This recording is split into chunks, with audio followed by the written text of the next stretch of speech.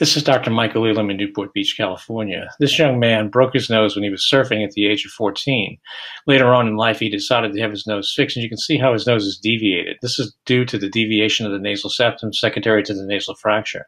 And you can see the dramatic improvement that occurred by just straightening out the patient's nose, thinning the bridge, and restoring the patient's nasal, nasal integrity.